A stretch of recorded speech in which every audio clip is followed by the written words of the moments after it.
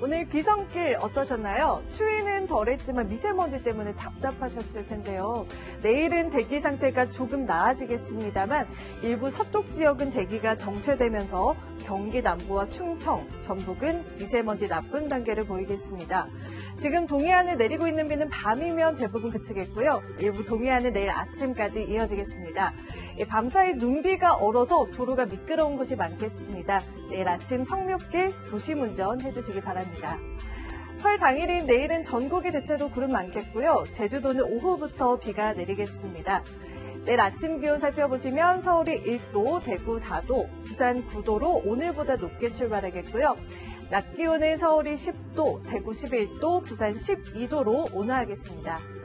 내일 남해상과 제주도 전해상 물결이 최고 4m로 높게 일겠고 바람도 강하겠습니다.